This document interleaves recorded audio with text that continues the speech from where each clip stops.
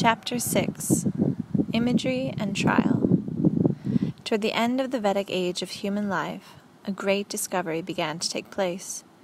A discovery unparalleled over the whole course of the history of human civilizations on the earth. People became acutely aware of the power of collective thought. And here we must clarify what exactly is the thought of man. The thought of man is an energy unparalleled anywhere in space. It is capable of creating marvelous worlds on the one hand, or, on the other, weapons capable of destroying the planet. And all the matter that we see today, without exception, has been created by thought. Nature, the animal kingdom, man himself have all been created with great inspiration by the divine thought and the proliferation of artificial objects, machines, and mechanical devices which we see today are the creations of man's thought. You may think that it is man's hand that has produced them. Yes, today hands must be employed, but to begin with, everything down to the last detail is created by thought. It is believed today that man's thought is more perfect now than in the past, but that is far from being the case. For each member of the Vedic civilization, it was many millions of times superior to that of modern man in terms of the speed and fullness of information involved. This can be seen in the knowledge we have taken from the past about using plants for medicines and food. But nature's devices are far more perfect and complex than anything artificial. It was not just that man summoned a whole lot of beasts to serve him. It was not just a case of defining the function of all growing things. Once he realized the power of collective thought, he found that he could use it to control even the weather, or cause springs to well up from the depths of the earth. If he were not careful in handling his thought, he could make a bird fall from the sky while in flight, or affect life on different distant stars, either to plant gardens on them or to utterly destroy them. This is no fiction, but fact and it was all given to mankind. Everyone today knows how man, having launched himself on the path of technocracy, has been attempting to build spaceships capable of reaching the stars. People have gone to the moon, but only by wasting valuable resources and energies, and with great harm to the earth. But they have changed nothing on the moon. This kind of approach is short sighted. It is doomed to failure and is dangerous for everyone on the earth as well as for other planets. There is another approach which is much more effective.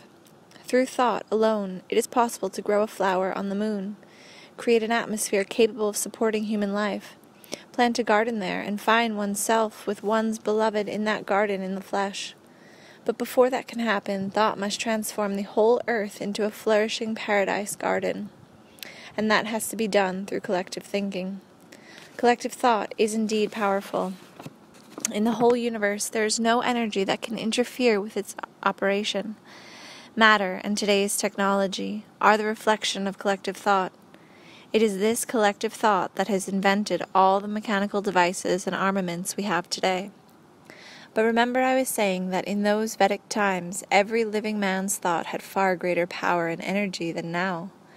Objects such as rocks weighing many tons could be moved by as few as nine people gathered together to make it easier to use collective thought for the benefit of the majority without wasting time getting a whole lot of people to congregate in one place, people invented images of various gods and began to control nature with their help.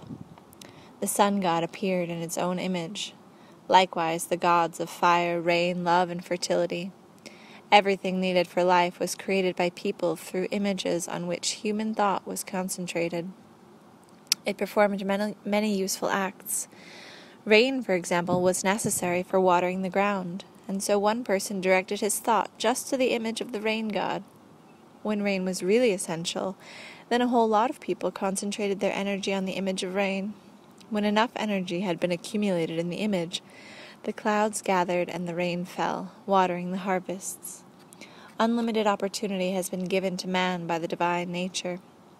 If mankind could only overcome the temptations associated with unlimited authority and hold all the energies of the universe in perfect balance with themselves. Then gardens, as the fruit of human thought, would appear in other galaxies, and man would be capable of happifying other worlds with his thought. What is called the age of the image was now coming into bloom. In it, man not only created, but felt himself to be a god. But then, what else could the Son of God turn out to be? In what is called the age of the image, man exists in the likeness of God and begins to create his own images. This period lasts 9,000 years, and God does not interfere in man's deeds. All the diverse energies of the universe are set in motion and actively try to seduce man. Particles of all the diverse energies of the universe are to be found in man. They exist in great numbers and play opposite roles. But all the particles of the diverse energies of the universe ought to be perfectly balanced in man, brought together in a harmonious whole. If one of these particles dominates, the rest are denigrated and their harmony is disrupted. And then, then the earth is transformed and becomes inharmonious. Images can lead people to many splendored creation, but if their inner unity is surrendered, they can also lead to annihilation. But what exactly is an image? An image is an entity of energy invented by human thought. It can be created by a single man or by several together. A clear example of the collective creation of an image may be seen in stage acting. One man describes the image on paper, while another portrays the described image on the stage. What happens to the actor who portrays the image invented? For a time, the actor exchanges his own feelings, aspirations, and desires for those inherent in the invented image. In the process, the author may change the way he walks, his facial expression, his usual clothing. In this way, the invented image acquires a temporary embodiment. The ability to create images is something only man is endowed with. The image created by man can remain in space only so long as, as it is held in man's thought either by a single man or by several at once. The greater the number of people feeding the image with their feelings, the stronger it becomes. The image created by the collective thought can possess colossal destructive or creative potential. It has a reciprocal connection with people and is capable of shaping character and behavior on the part of groups of people both large and small. In exploiting the great possibilities they have discovered, within themselves, people became carried away with creating the life of the planet. But it happened, back in the early stages of the age of the image in the life of man, that there were six people, just six, who found themselves unable to hold within their bodies, hearts, and minds the balance of those energies of the universe which God gave to man upon creating him. Perhaps they needed to make their appearance to test all mankind. At first, it was just in one of the six that the energy of grandeur and self importance predominated, then in another, and then in a third, and finally in all six. They did not meet together at first. Each one lived independently, but like attracts like, and they ended up concentrating their thought on how to become masters of all the people of the earth. There were six of them, and in public they referred to themselves as priests. Through the process of reincarnating themselves over the centuries, they are still living to this day. Today, all the peoples of the earth are governed by just six people. These are the priests. Their dynasties are 10,000 years old. From generation to generation, they have been transmitting their knowledge of the occult to their heirs, along with the science of imagery, which has also partially which was also partially known to them. They have taken great pains to hide the Vedic knowledge from other people. Among the six, there is one who is considered chief, and he is called the High Priest. Today, he considers himself to be the chief ruler of human society. Through a few sentences I have uttered, which you have recorded in your books, as well as through the reaction of many people to them, the High Priest has begun to suspect who I really am. Just in case, he attempted to destroy me by using a negligible amount of power. He did not succeed. He was surprised, and he has tried again, applying a greater amount of force, still not completely convinced of who I am. Now I have uttered the word Vedrus, thereby exposing myself completely. The current high priest living on the earth today is afraid even of the word Vedrus. You can imagine, you can just imagine how shaken he is, since he knows what lies behind it. Now he will muster his soldiers, biorobots to a man. along with the forces of all the dark occult sciences, to bring about my termination. And he himself will be working minute by minute on a plan of annihilation. Let him do that. It means he will not have time to be busy with his other plans. You were telling me about the angry attacks in the recent press, Vladimir. Now you will see them intensify even more, and they will be even more cunning and sophisticated. You will see slander and prov- provocation, provocation. You will see the whole arsenal of devices which the dark forces have been using over the millennia to bring about the devastation of our people's culture. But what you will see at the beginning is only the tip of the iceberg. Not all people can witness the occult attacks at first hand, but you will understand them. You will feel them. You will see them. Do not be afraid of them, I beg of you. What is fearsome is powerless to affect a fearless man. Whatever you see, you should forget immediately and forever. No matter how omnipotent a monster may seem, once it is forgotten, it ceases to exist altogether. This is an unusual fact, and I can tell you are doubting. Do not be hasty to give in to your doubts. Think it over calmly. After all, even a small group of people who have gathered together for the purpose of building something inevitably has a leader. We may call him a ruler. A small enterprise has an official in charge. A large enterprise has several people in charge, under a chief executive officer. There are many rulers over all sorts of territories which are known by different names provinces, regions, states, communities, republics, etc. The particular name is not important.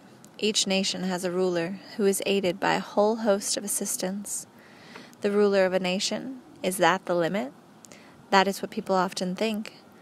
Does that mean nobody is governing the whole human society living on the earth? And are there no claimants wishing to ascend the throne of the earth? There have indeed been claimants. There still are.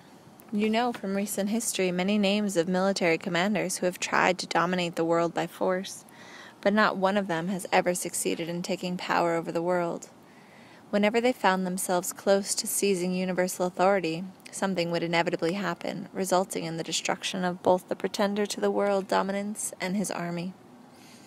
And the nation aspiring to world domination, which before had been considered strong and flourishing, suddenly dropped to the level of a run of the mill state. That is the way it has always happened over the past 10,000 years. But why? All because there is already a secret ruler in the world and has been for a long time. He toys with nations and their rulers, along with individual people. He calls himself the high priest of the whole earth, while his five assistants refer to themselves as priests. Consider one other fact, Vladimir. Think about how in various parts of the earth over the millennia wars be- between people have never ceased. In every country, crime, disease, and various disasters are increasing day by day but there has been a strict, indeed the strictest, prohibition on discussing a particular question. Is human civilization really on the path of progress? Or is human society being further degraded with each passing day? There can be but one simple answer to such a question. Only first take a look and see how the priests acquire their authority and how they have managed to maintain it to date. Their first step leading to the accomplishment of their secret purpose was the creation of the Egyptian state.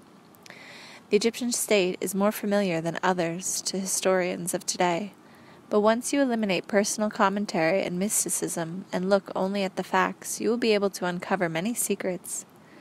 Fact number one History calls the Pharaoh the supreme ruler of Egypt, and the many military achievements and defeats of the Pharaoh of old have been well documented. Even today, their magnificent tombs astound the imagination and prompt scholars to probe the mysteries they hold. Nevertheless, the grandeur of the pyramids distracts us from the most important secret of all. Not only were the pharaohs considered as rulers over all the people, but they were worshipped as gods. It was to them that the people turned with pleas for an auspicious crop year, pleas for rain and, and an absence of pernicious winds. History can tell us about many of the factual accomplishments of the pharaohs, but after learning all these historical facts, you should ask yourself could any of the pharaohs really have been a ruler over a large nation state, let alone a god over the people? And once you weigh all the evidence, you will realize entirely on your own that the pharaoh was nothing more than a bio robot in the hands of the priests. Now, here are the facts. They are also known to us from history. During the age of the pharaohs, there also existed priests in magnificent temples, and one of them was the high priest. There were always several candidates for the pharaohship in training under their supervision. The priests would inculcate in the young boys whatever the priests desired, among them the notion that the pharaoh was chosen by God. Along with this, they told them that the high priest himself could hear God speaking to him in a secret temple. Later, the priests would decide which of the candidates would become the next pharaoh. And so, the day of the coronation arrived. The new pharaoh, clothed in special robes and holding the symbols of office in his hands, took his place majestically on the throne. In the eyes of the people, he was an omnip- omnipotent king, a god. Only the priests knew that it was their own bio robot that sat on the throne and having studied the new Pharaoh's character from his childhood, they knew exactly how he would rule, and they knew what gifts he would offer up to the benefit of the priesthood. There was the occasional attempt on the part of certain pharaohs to come out from under the high priest's authority, but none of them ever succeeded in becoming a free man. After all, the power of the priests was just as invisible as the pharaoh's royal robes were visible to all. You see, the priest's authority did not require any verbal proclamation or manifest communication for its enforcement.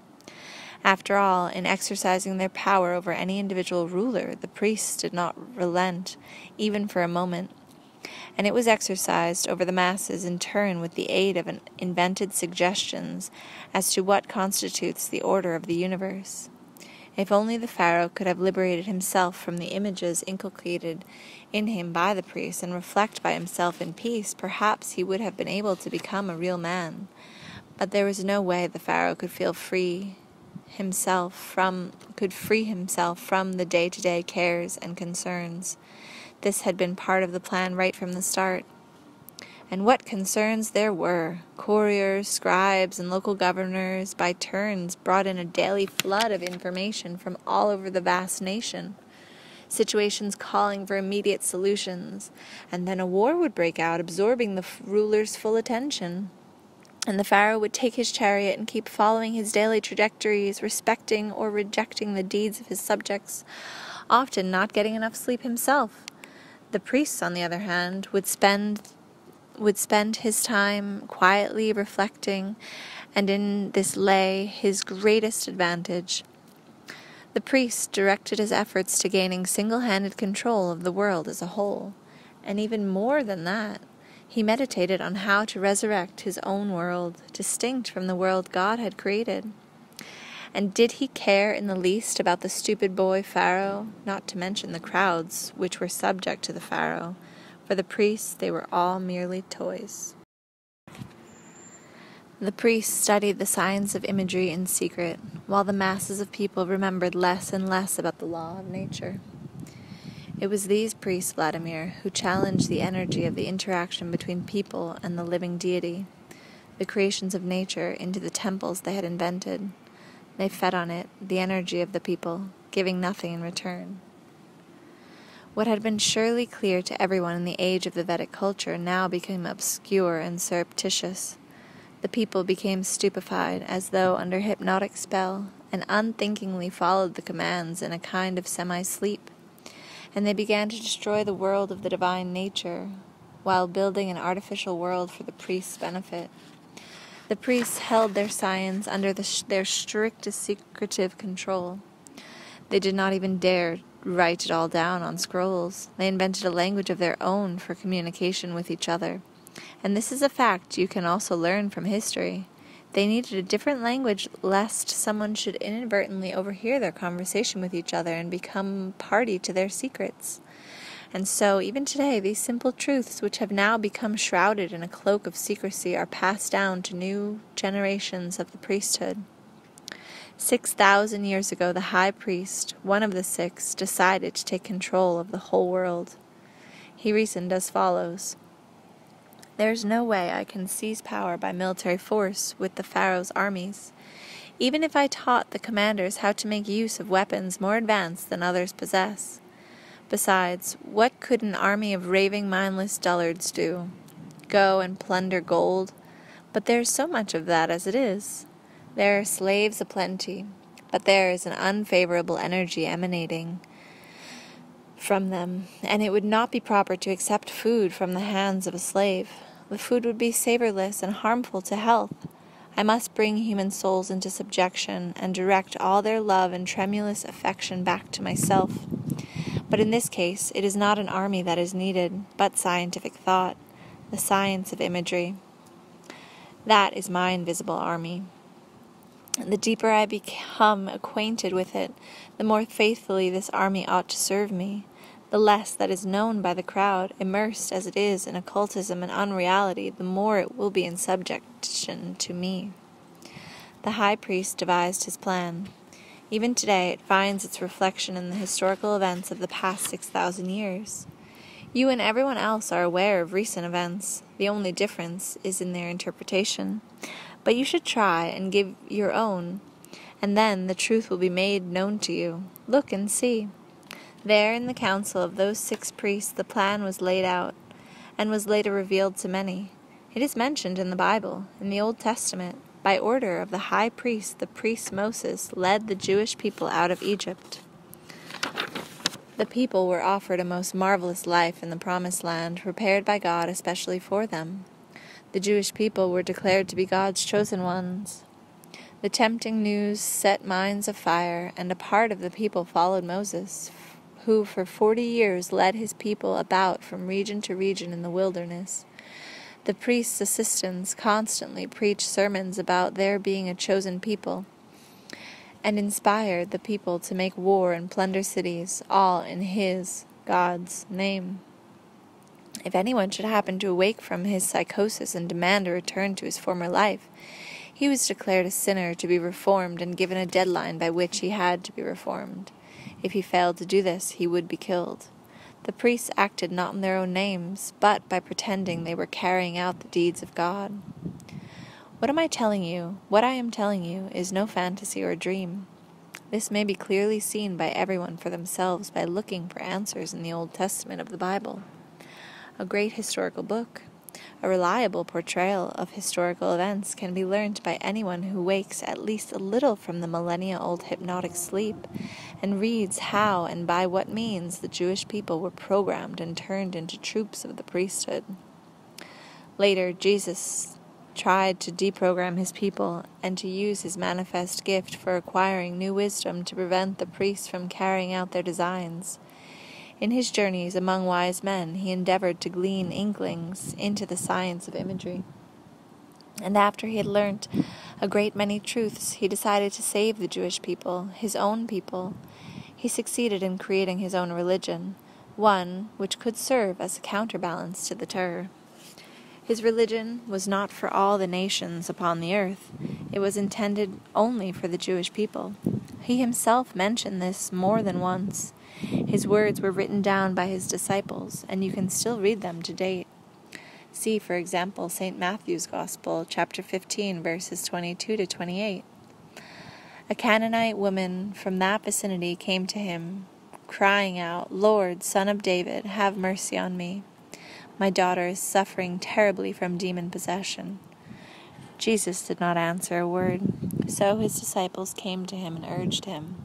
Send her away, for she keeps crying out after us. He answered, I was sent only to the lost sheep of Israel. What does it mean, I was sent only to the lost sheep of Israel? Why are Jesus' teachings only for the Jews? Why did he consider the Jewish people to be lost? I tell you, Vladimir, Jesus knew that as a result of the 40 year programming in the Sinai wilderness, the majority of the Jewish people were lost in a hypnotic dream. This part of the people, as indeed Moses himself, thus became a tool in the hands of the high priest. They were his foot soldiers, whom he compelled to seize power over all the earth's people to satisfy his own vain glory.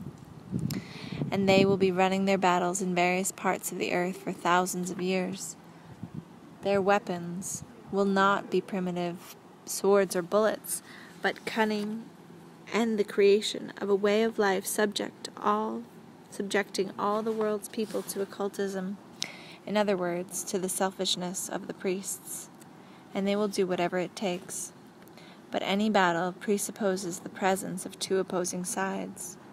You may well be thinking and if so then where are the victims in any battle there have to be victims on both sides you could probably find evidence of these battles yourself through searching by the dates mentioned in the various historical sources.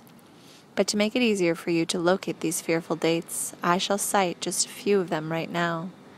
If you wish, you can look up their historical confirmation for yourself. Everybody knows today, including you, Vladimir, how children, the elderly people, are perishing from terrorism in Israel.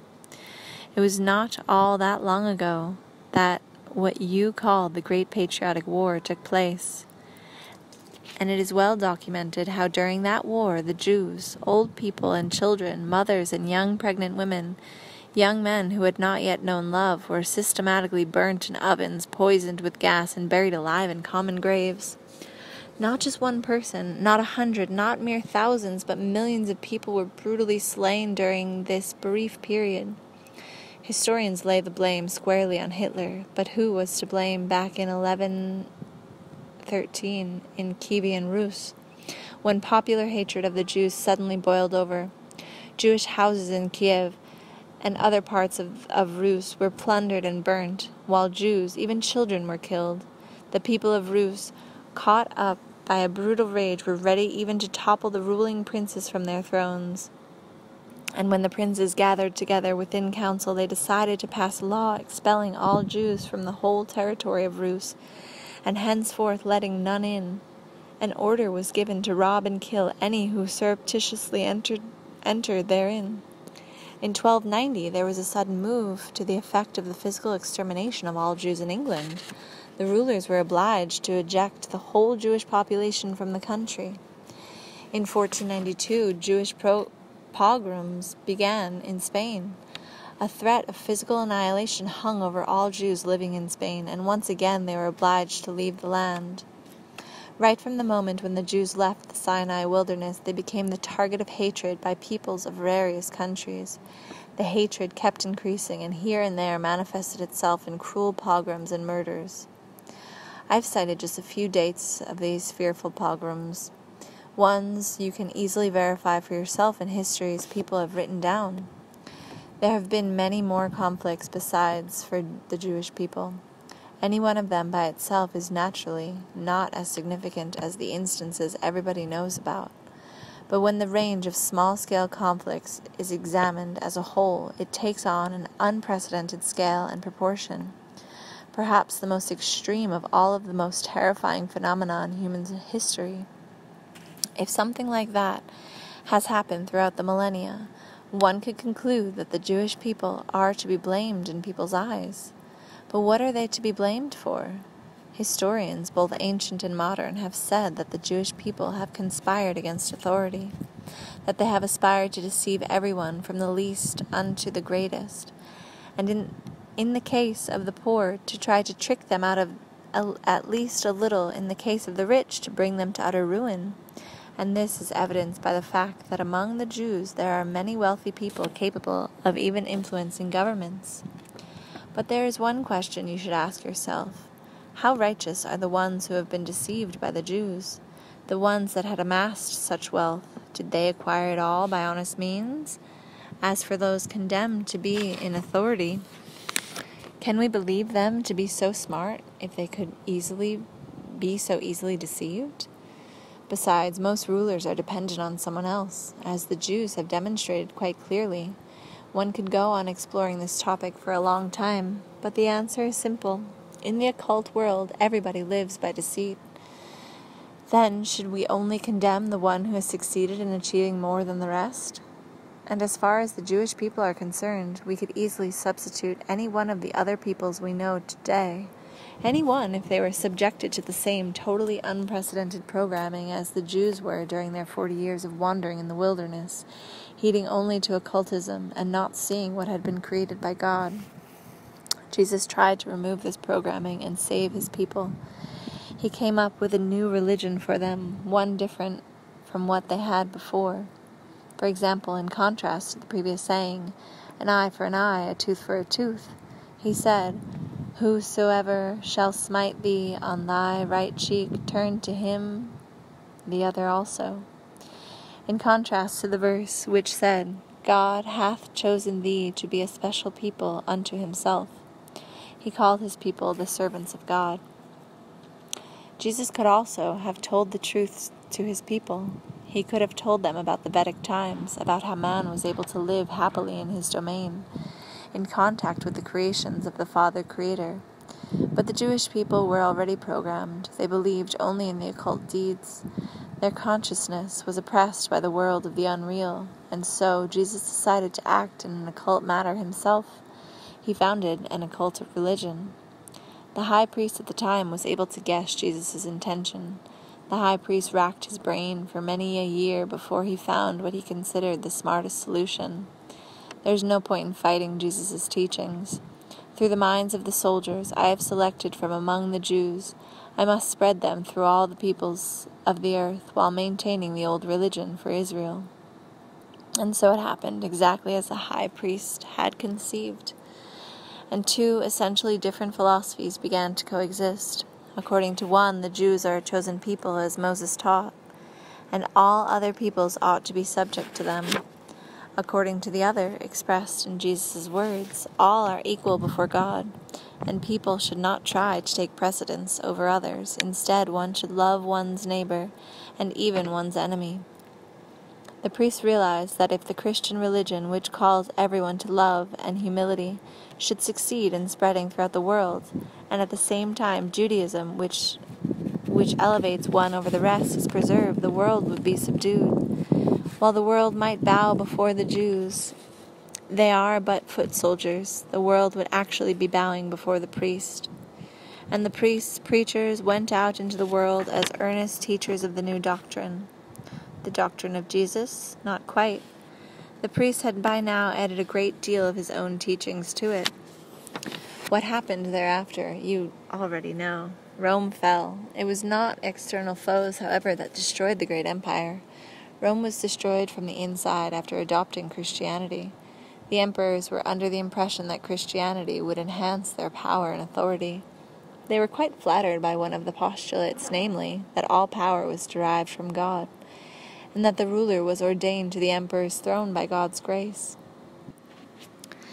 In the 4th century AD, Christianity celebrated its victory in Rome, both officially and in actual fact. In great delight, the high priest gave a silent, non contact command to the Byzantine emperor, and Christian Rome burnt the library of Alexandria to the ground. Altogether, 700,033 volumes were lost. Bonfires of books and ancient scrolls burnt in many cities. The burned books were largely from the heathen period, but they also included the few that recorded the knowledge of the Vedic people. These were not burned, they were salvaged, concealed, and studied in turn by a narrow, narrow circle of the devoted, and only afterward were destroyed. It seemed to the high priest that now the people were getting further and further away from a knowledge of their pristine origins. He would encounter no more obstacles on his path. Feeling bolder, he issued yet another tacit command, resulting in the anathema being issued at the Second Council of Constantinople against the doctrine of reincarnation. For what reason, you may ask? To keep people from thinking about the essence of earthly life, to keep them thinking that a happy life exists only beyond the earth's borders. And many peoples of the earth began believing precisely that. The priest was truly delighted. He knew that what would happen next. He construed that since nobody had experienced otherworldly life, man would have no idea of how to reach paradise, the good, or how to avoid ending up in a fearsome hell. So now he would offer to man a little occult hint which would favor his own plan. And so the priests have kept on giving out hints to the world which bring benefit to themselves. But they were not able to immediately obtain full power over the world. Even when it seemed to them that the strongest bastion of heathen culture, Rome, was destroyed, even then there still remained on earth one small island which was impervious to the priest's casual, usual charms. Even back before Rome, even before the appearance of Jesus' teachings, the high priest had aspired to destroy the culture of the last Vedic state, Rus.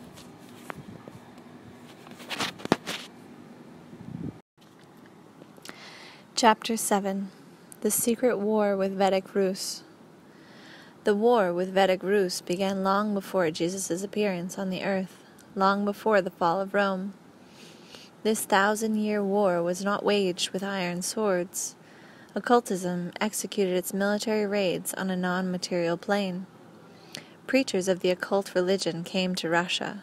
Dozens of their names are mentioned in various ecclesiastical books, but they actually numbered in, in the tens of thousands. They were not to blame for their ignorance. They were fanatics, which meant their mind was unable to fathom even the millionth part of creation. As foot soldiers to the priest, reverently carrying out his orders without so much as a murmur, they attempted to explain to people how to live. They tended to say exactly the same things they had said when preaching to once majestic imperial Rome. They introduced they tried introducing ritual and proposed the construction of temples instead of paying attention to nature or earthly existence. Then the kingdom of heaven would come for everyone. I shall not burden you by reciting their sermons. If you wish, you can still read their words today. I shall tell you why, for thousands of years, they did not succeed in doing anything with Vedic Rus. Every other person living in Rus at that time was a poet and a wit, and there were bards in Rus. They were called Bayans back then, and this is how it all took place in those times. For decades, the priests, foot soldiers, waged a propaganda campaign to the effect that God had to be bowed down to. And here and there, people began to listen and reflect on the message.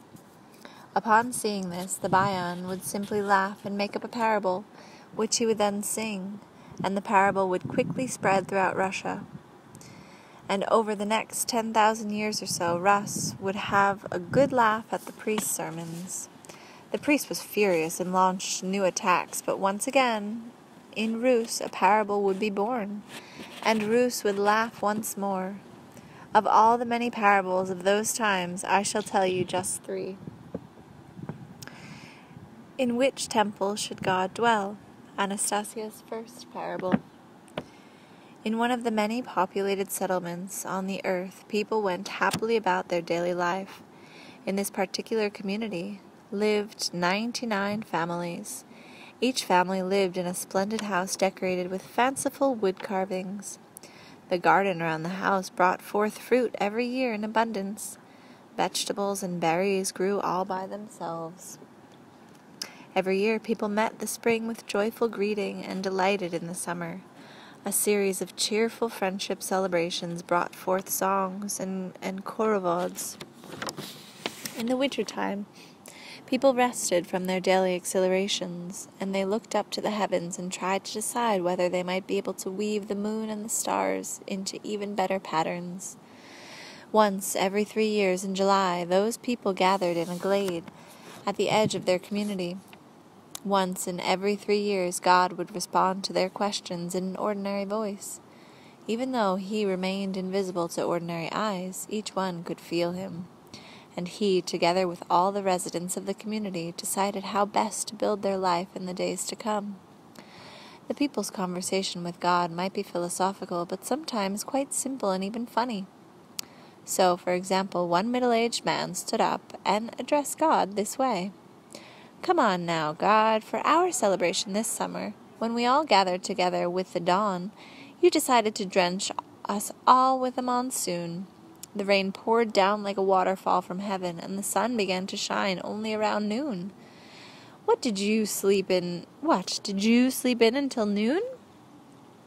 I was not asleep, God replied. At this morning's dawn, I thought about how to make your celebration truly glorified. I saw how some of you on their way to the celebration were too lazy to wash themselves with clean water. How so? Such reprobates would spoil the show with their appearance. And so I decided to first wash everyone, and then have the clouds sweep in and allow the rays of the sun to caress the water washed bodies with tenderness. Well, okay, that is how, the man agreed, brushing off food crumbs from his mustache and wiping the blackberry stains around his son's mouth. Tell me, God, asked an elderly and pensive philosopher, there are many stars shining in the sky overhead. What does their fanciful alignment mean? If I should select a star that is pleasing to my soul, and then, when I get bored with my earthly life, could I remove there with my family?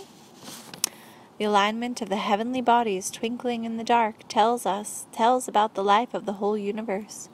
An alertness in your soul, but without tension, allows you to read the book of the heavens. This book will not open for idleness or curiosity, but only for pure and meaningful thoughts. And yes, you can settle on a star, and each of you can choose for yourself a planet in the heavens. There is only one condition that you must observe you must become capable of producing on your selected star creations more perfected than those produced on earth. A very young girl jumped up from the ground and tossed her light brown braid of hair over her shoulder. Raising her little face with its turned up nose heavenward, she placed her hands saucily on her hips and suddenly declared to God, I have a complaint to make to you, God. For two years now I have waited patiently to tell you about it. Now I shall tell you. Some kind of disorder or abnormality is taking place on the earth. All the people are living as people, falling in love, marrying, and being happy. But am I to blame for something? Every year, just as soon as spring arrives, my cheeks break out into freckles. There's nothing that'll wash them off, and I can't paint them over. Did you think this up as some kind of a joke, God? I demand that as of next spring, not a single freckle ever appears on my face again. Oh, my daughter, those are not freckles, but spring speckles that appear on your beautiful little face each spring. But I shall call them as you wish. If you find your freckles to be such an annoyance, I shall remove them come next spring, God answered the spunky girl. But then a handsome young lad got up on the other end of the glade and meekly addressed God, though not in a loud voice. We have a lot of work ahead of us in the springtime. You, God, try to take part in everything we do. Why would you waste your time on removing her freckles? Besides, they are so beautiful that I cannot picture a more beautiful image than a young maiden with freckles in the spring.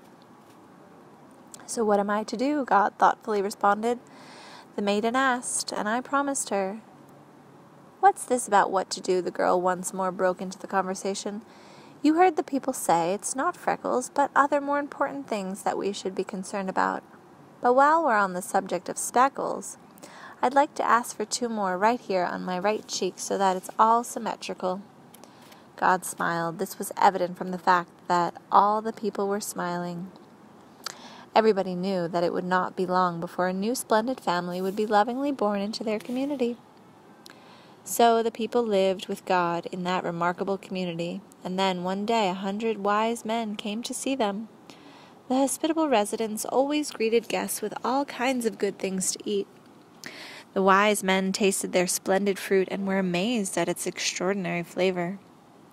Then one of them said, O oh, people, what a splendid, orderly life you lead! You have abundance and coziness in every home.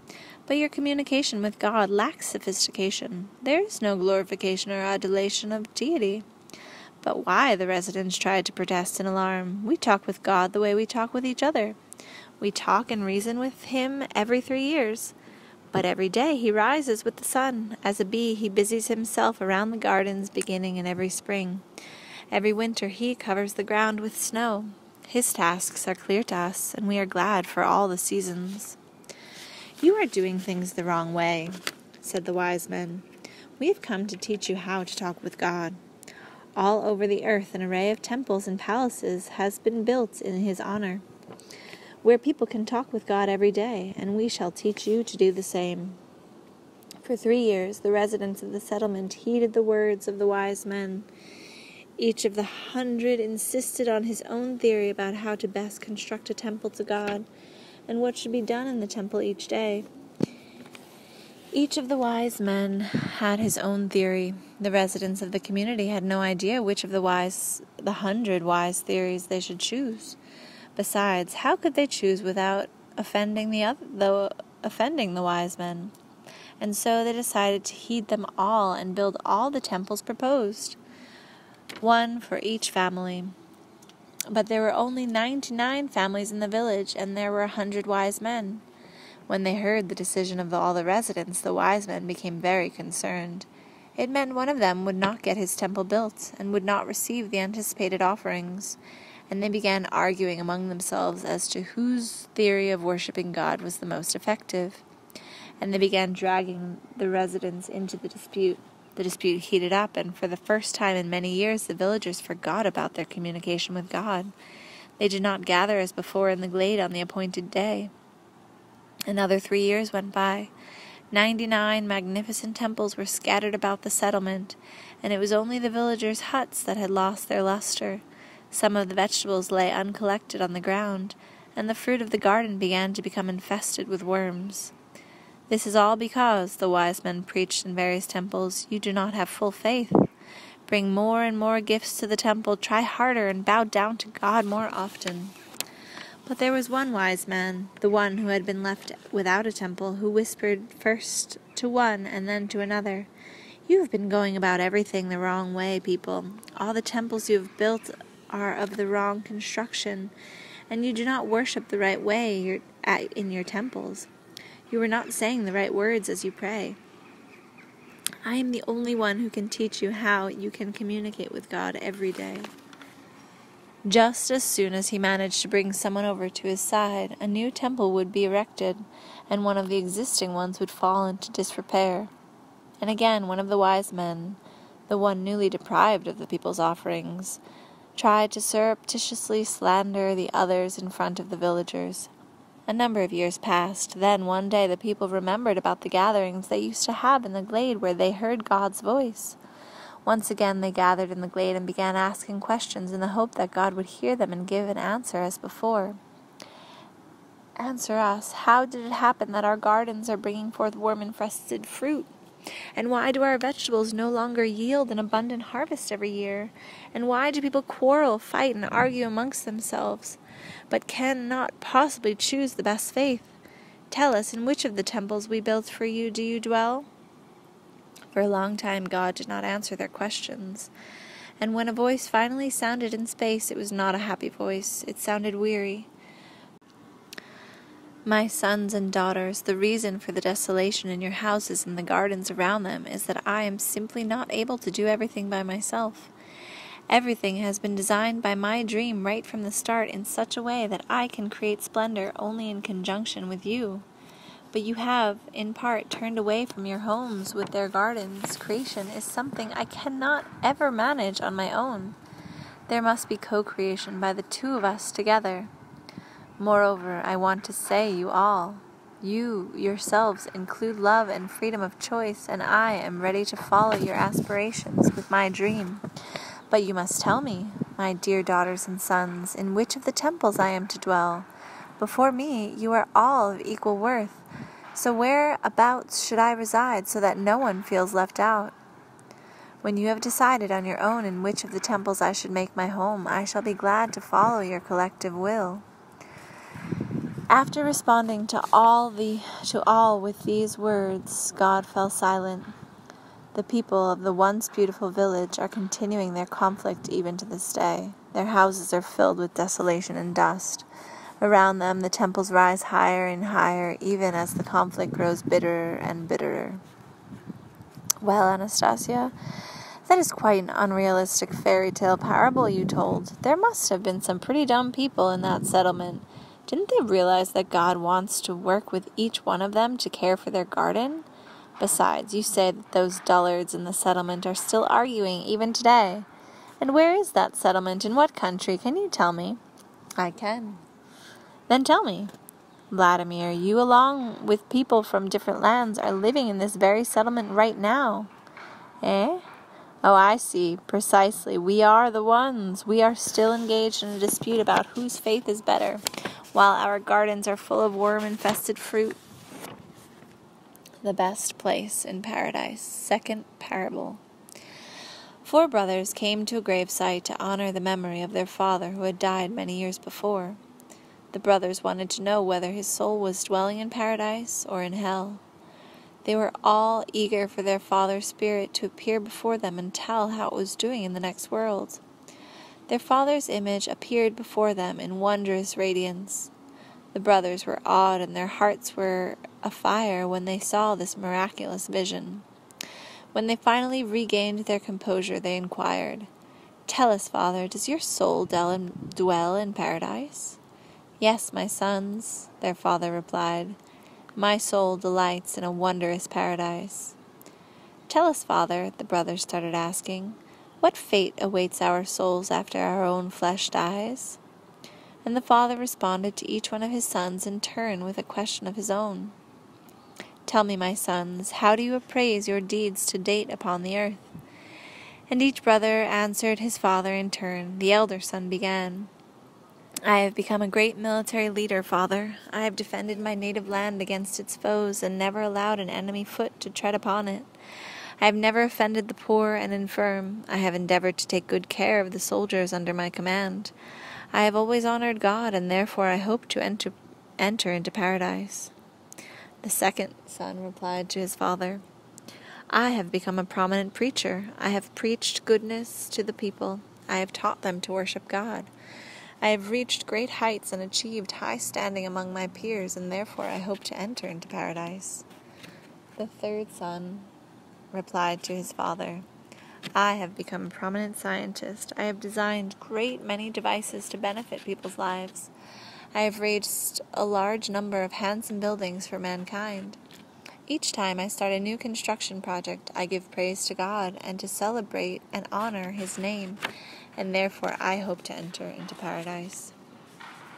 The youngest brother answered his father, I, father, cultivate a garden and work daily at raising vegetables. From my splendid garden I send fruits and vegetables to my brothers, and try not to do anything dishonorable or displeasing to God, and therefore I hope to enter into paradise. The father replied to his sons, Your souls, my sons, will indeed dwell in paradise after your flesh dies. The vision of their father faded. Years went by, the brothers died, and their souls met in the Garden of Paradise. Only the soul of their younger brother was not among them. The three brothers then began to call out to their father, and when he once again appeared before them in his wondrous state, wondrous radiance, they asked him, Tell us, Father, why is the soul of our little brother not among us in the Garden of Paradise? It has been a hundred earthly years since we last spoke with you at our gravesite. Do not be concerned, my sons, replied the father. Your little brother's soul, too, is dwelling in the garden of paradise. Only he is not here with you right now because your little brother is at this moment communicating with God. Another hundred years went by, and once again the brothers met in the garden of paradise. But again, their younger brother was not with them. And again the brothers called for their father. When he appeared, they asked, See, another hundred years has gone by, but our little brother has not come to meet us, nor has anyone seen him in the Garden of Paradise. Tell us, Father, where is our little brother now? And the father answered his three sons, Your little brother is communicating with God, and that is why he is not among you. And the three brothers began asking their father to show them where and how their younger brother was communicating with God. Take a look, the father replied, and the brothers saw the earth, and there was the marvelous garden which their little brother had cultivated during his life. In this wondrous earthly garden, their brother, looking so much younger, was explaining something to his child. His beautiful wife was busying herself nearby. The brothers asked their father in astonishment, This is our little brother in his earthly garden as before, not in the garden of paradise as we are. What is he to blame for before God? Why has his flesh not died? Several centuries have passed in earth years, and here we see him as a young man. Does that mean God has somehow changed the order of the universe?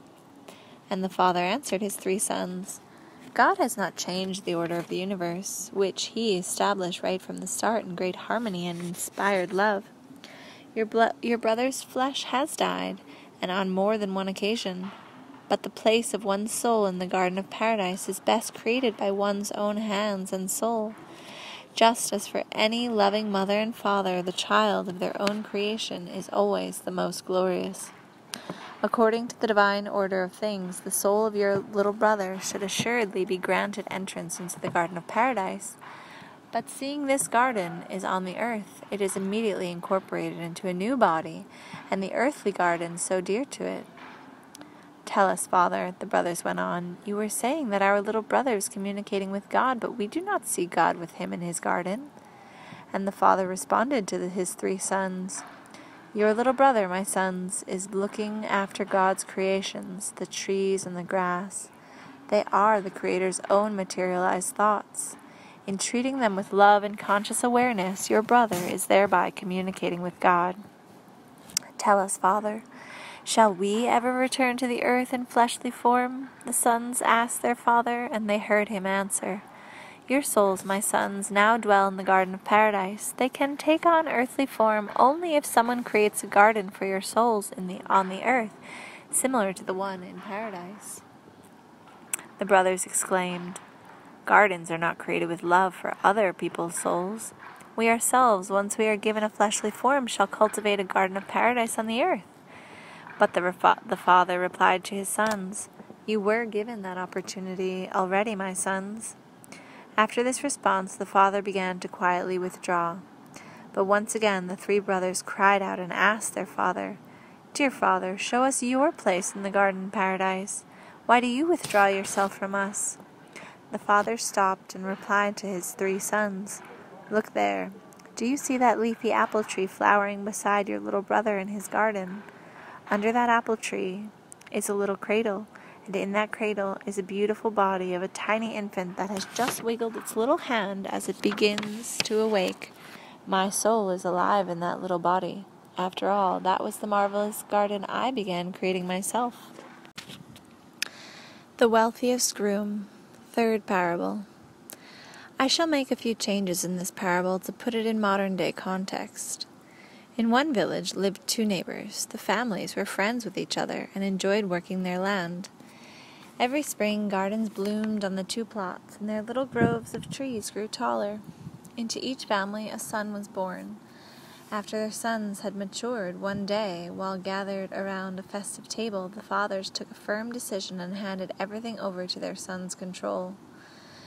Let those sons of ours now decide what to sow and when, one of them said, the, said to the other, And you and I, my friend, shall not oppose them, or even give them hints or questioning looks.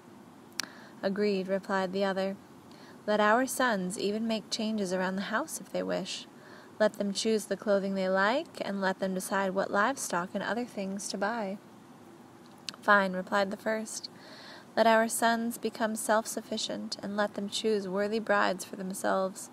We shall go together, my friend, to seek brides for our sons.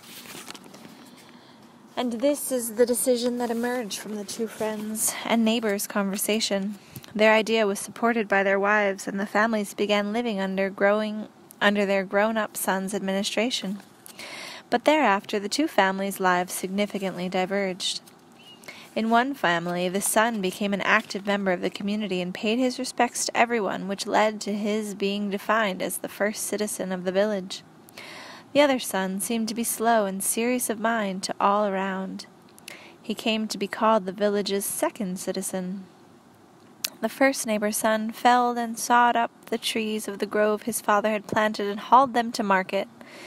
He bought himself a family car in place of his horse, along with a small tractor. The first son here was concerned very considered very enter- enterprising. The new entrepreneur calculated that the coming year would see a sharp increase in the price of garlic, and he was not mistaken. He pulled up all his plantings and sowed his fields with garlic. His father and mother did their best to help him in everything. They had made a promise, and it was not forsaken. The family sold the garlic at a profit. They set about building a huge mansion using the most modern materials and invented and hired construction workers. And the enterprising son did not relent. He spent from mornings till night trying to figure out what the most profitable crop would be to plant in the spring. And by winter's end, he had calculated that the spring's most profitable crop would be onions, and again he sold his harvest at a profit and bought himself a fancy new car.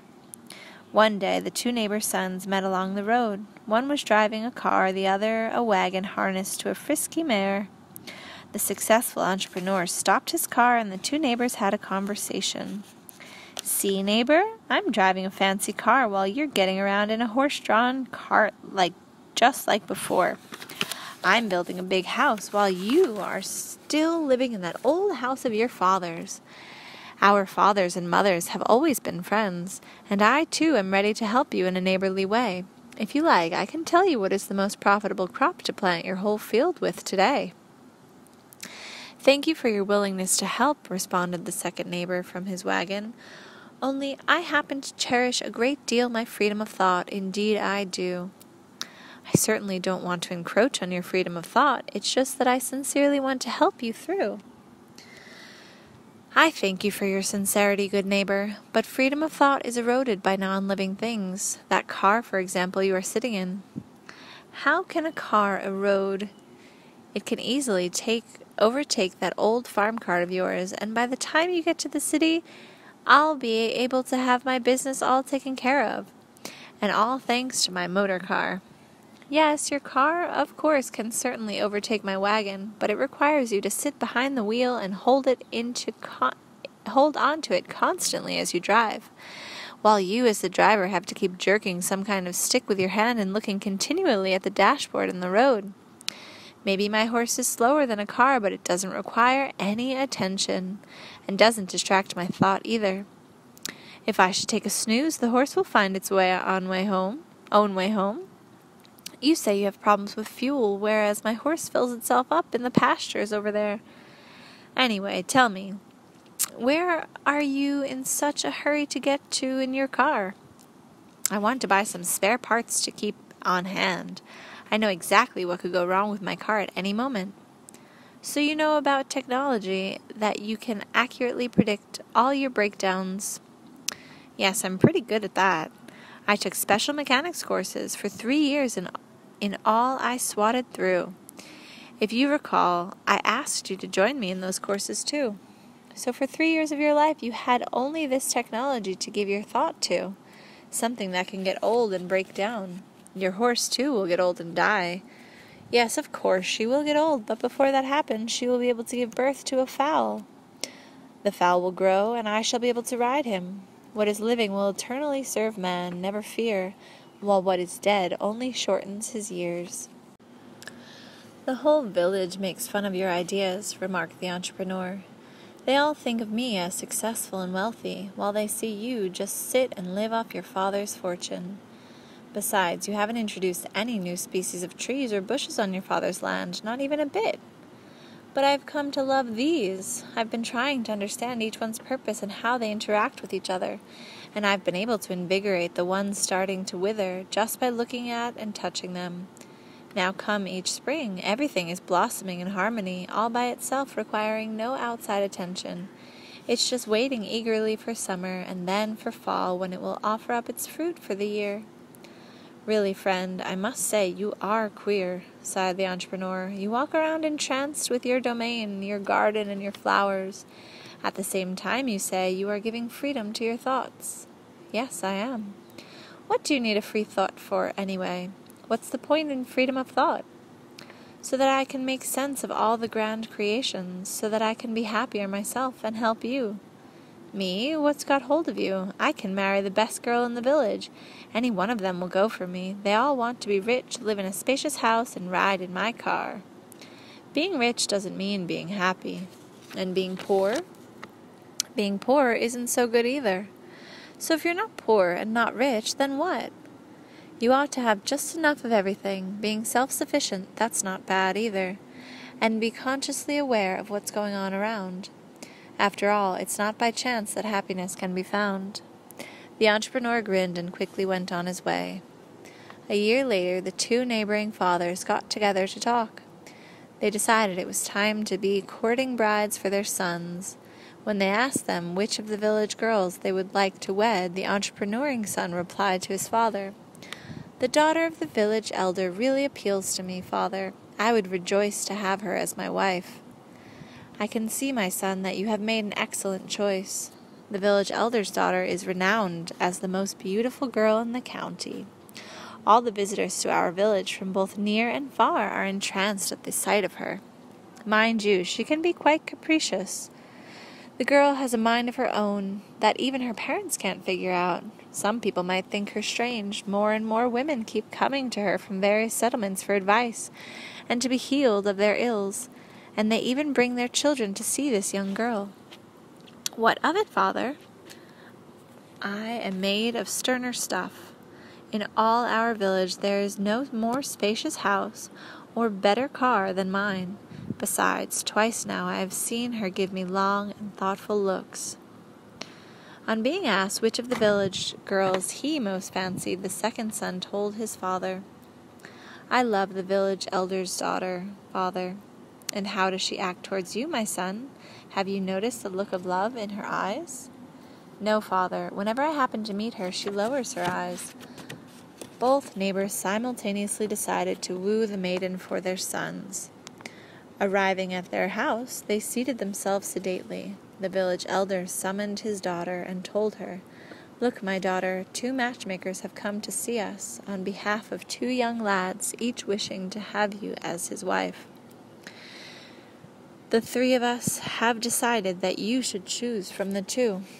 Can you tell us your decision now, or would you like to think about it until tomorrow morning? I have spent many mornings thinking about it in my dreams, father, the young girl quietly said. I can give you my answer right now. So tell us. We are all eagerly awaiting your decision. The beautiful girl answered the matchmakers like this Thank you, fathers. Thank you all for inquiring. I thank your sons for desiring to join their life with mine. You have indeed raised splendid sons, and it might have been very difficult to choose to which of two destinies I should myself resign. But I do not want to have children, and I want, but I do want to have children, and I want my children to be happy, to stand tall in prosperity, freedom, and love, and so I have fallen in love with the one who is wealthiest of all. The father of the entrepreneur rose to his feet in pride, while the other father sat glumly in his chair. But the girl went over to the second father, knelt down before him, and said, without raising her eyelids, I wish to live with your son. At this point, the village elder rose to his feet. He wanted to see his daughter living in what was deemed by all the richest house in the village, and so he said to her rather harshly, You spoke correctly, my daughter. Your smart reasoning brought gladness to your father's heart. But you, for your part, did not go and kneel before the richest man in the village. Someone else here is the wealthiest. This is he.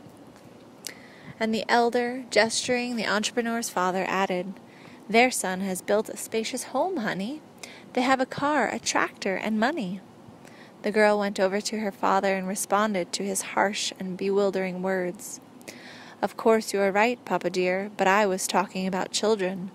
What use will our children have for those things you mentioned? The tractor can break down while they are still growing up.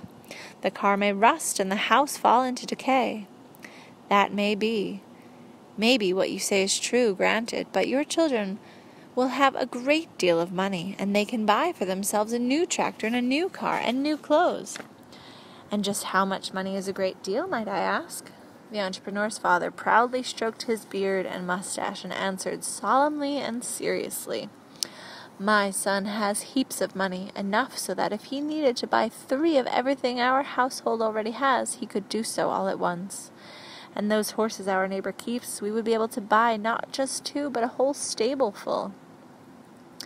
I wish you and your son great happiness, but there is no amount of money on the earth that would buy a father's garden where every branch reaches out in sheer love to the one cultivating it, and no money in the world can buy the loyalty of a steed that has played with a child as a colt.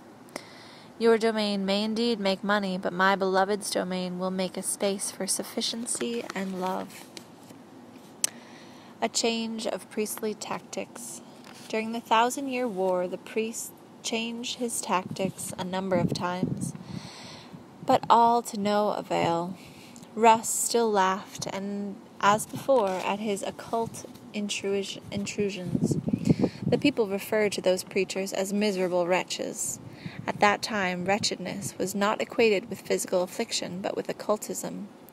People in Rus took pity on the wretched preachers. They fed them and offered them shelter, but did not take any of their sermons seriously. After 400 centuries, the priest realized he would never achieve victory over the Vedic land. He accurately determined wherein the extraordinary power of Vedism lay. Vedism was based solidly on a divine culture. Everyone's way of life was divine, and every family created in its domain a space of love. They felt the wholeness of nature and consequently of everything God had created. What happened in Vedism was that people spoke with God through nature instead of bowing down before Him. They attempted to understand Him. They loved God as a son and a daughter loved their kindly parents. And so the priests came up with a plan which would be able to break this dialogue with the divine. To this end, it was necessary to separate people from their domains, from the divine gardens, from their co creation together with God. It was necessary to divide the whole territory where the Vedic people lived into different states and to destroy their culture. New preachers went to Rus. They put a new approach into practice. This time they sought out people in whom selfishness, pride, dominated even just a little over the other energies of feelings. Whenever they found such a man, they tried enhancing the sense of pride within him. This is how they operated. Imagine a group of stately looking elders arriving at the home of a happy family. But there is no attempt, as before, to preach or teach them how to live. On the contrary, they all at once bow down before the head of the household, present him with outlandish gifts, and say, In our far off land we climbed to the top of a high mountain, the highest mountain on the earth. Standing at the summit above the clouds, we heard a voice from heaven telling us about you. And it was told to us that you are the wisest of all the people on the earth. You alone were chosen, and we are honored to bow down to you, present you with our gifts, and wait upon your words of wisdom. And if they saw the man taking their bait, they would continue their sly talk. It is your duty to make all other people happy. The voice told us so on the mountain top. You should not waste your valuable time on other concerns. You should be in charge of people and make decisions for them, decisions that, w- that have been entrusted to you alone and here is your heavenly headdress. At this point, a headdress decorated with precious stones was presented to the man as though it were the grandest treasure. And so the headdress was placed upon the head of the man who now believed in his own majesty and his chosen status. And at that very moment all the visitors fell to their knees before him in great reverence, and they began to praise heaven for the, the honor of being worthy to bow before this majesty. Next, the foreign visitors built him a separate house to live in that looked very much like a temple. This is how the first princes rose to power in Vedic Rus. The new prince's neighbors looked upon this man sitting on his throne in the temple as some sort of curiosity. They watched as the foreign visitors bowed before him, indulged him his every whim, and plied him with all sorts of questions. At first, they took this scenario for some kind of game from overseas, and, and some decided, either out of curiosity or out of compassion, to play along with the foreigners and with their neighbor. But people gradually got drawn into the game, and little by little they sank into a state of serfdom. And without their realizing it, their thoughts turned more and more away from co creation. It was not easy for the priests' emissaries to get the princedoms established. In the beginning, for more than a hundred years, their attempts proved unsuccessful, but still it finally came about, and Vedic Rus was carved out into princedoms. And then events took their natural course. The princes began fighting over who was greater and dragged their neighbors into internecine feuds. Later, historians would claim that grand princes arose who managed to join the isolated princedoms of Rus together into one mighty state. But think for yourself, Vladimir. Could that really have been so? And what kind of unification exactly did the historians have in mind? It is all very simple in fact. Yes, one prince was able to kill or conquer others, but people can be united only by, by culture and a way of life. The setting up of borders always indicates separation. Once a state was established, not on the basis of a cultured way of life, but on the artificial greatness of one or more people by virtue of their armies, a whole lot of problems immediately made themselves heard. How to maintain those borders and expand them as the opportunity occurred, and so arose the need for a sizable army. A large state cannot be governed by, by one man alone. So clerks and scribes soon appeared, and they have been multiplying each day right up to the present time. The princes, clerks, scribes, merchants, and all their servants together form a category of people who have been separated from God's creations. Today, their functional designation is the creation of an artificial world. They have utterly lost the ability to perceive true reality, and so constitute fertile soil for occultism. Only a thousand years ago, Rus was considered pagan. Paganism still carried within itself a lingering sense of the divine Vedic culture. With the advent of the princes and their princedoms, first little princedoms and later large ones, the rulers found they needed a force more powerful than an army. A force capable of creating a type of man inclined to unquestioning submission to authority. Here, too, the priests' messengers came to the ruling prince's assistance and offered them a suitable religion. The essence of this new development was very much to the prince's liking. Though there was hardly anything new in it, it contained everything that Egypt had had five thousand years earlier. Like the Pharaoh, the prince was considered to be appointed to his position by God. The occult ministers of the new religion were his, were his advisers, again, just as in Egypt. Everyone else was a mere slave. It was not a simple task to inculcate the new order into the minds of free people whose memories could still savor the celebrations of Vedic culture. And so once again the priest came to the prince's aid. His foot soldiers began spreading false rumors to the effect that there were pagan settlements where people were being more and more frequently sacrificed to God. It was noised abroad that pagans sacrificed to their gods not just various animals, but also beautiful girls or young men or even little children. This false rumor is still rampant among us today. More and more it became a source of anger to the pagan people. And now here was this new religion being offered, which placed a strict prohibition on burnt sacrifices. It talked about equality and brotherhood, exempting, of course, the princes. Thus, the new religion was little by little introduced into pagan Rus. Eventually, one of the ruling princes decreed that Christianity be recognized as the only true religion in the land. Rus came to be called Christian, and all other religions were banned. Now let anyone whose forebears, mothers and fathers, were called pagan just a thousand years ago ask themselves this question Did pagans really sacrifice either animals or people to their gods? And the true picture of events will become clear to anyone who is able to do at least nine minutes of logical reasoning. And you, Vladimir, once you have applied your logic to the discovery of the truth, can see the facts for yourself. I shall be glad to give you a little help. First, ask yourself a logical question. If pagans, as their accusers claim, actually offered up someone as a sacrifice to their to God, then why did the mere rumor about such offerings so greatly trouble their mind and feelings? It would have been more logical in that case to welcome such claims and enthusiastically try to repeat them instead of greeting them with outrage and accepting the new religion's entreaties. But the people were outraged. Why? Naturally, because the pagans could not entertain even the thought of sacrificing animals, let alone people. That is why no one can come up with even a single source in support of burnt sacrifices among the people of pagan Rus. It was only the chroniclers of Christianity that claimed that. But then they never liked they never lived in pagan Rus and did not even know the language of pagan Rus. And what about the sources and manuscripts of pagan Rus itself? Some of them were hidden, some were burnt in bonfires, just as in Rome. What exactly was seditious in those scrolls? What did they disclose? Without being able to read them, everyone today can make their own guess. They would have exposed the falsity of the accusations against paganism, and they could have transmitted the knowledge of Vedism. There was more to it than the facts that none of the people of pagan Rus ever indulged in burnt sacrifices.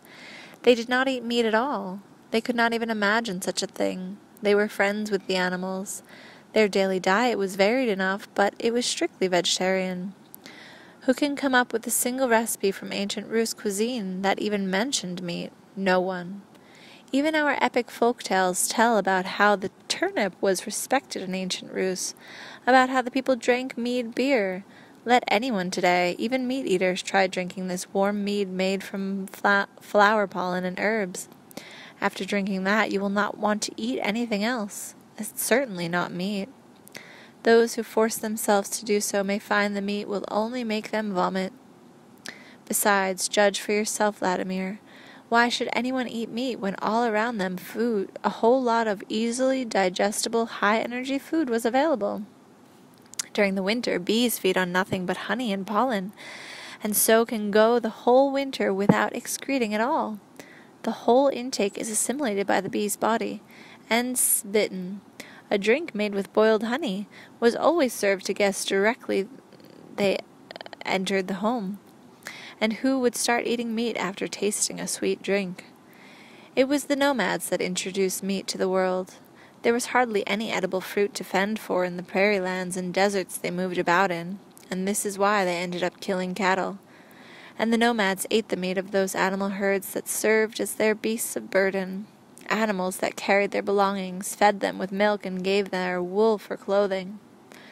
Thus the culture of our forebears was destroyed, and Rus was plunged into religion. If the people had learnt genuine religion, purely Christian, it is possible that life would have turned out differently, but the priests managed to inject his own twists into the Christian teachings, and the one religion became subject to various interpretations, and the Christian world became divided into a multitude of denominations, often in conflict with each other. The high priest spent a great deal of effort on Rus. In other places on the earth, people saw that he what he was doing and did not permit his preachers within their borders. Japan, China, and India did not become Christian, but the high priest won them over by another way. The age of occultism began 1,000 years ago. People all over the earth lived in the age of occultism and are still living in it today.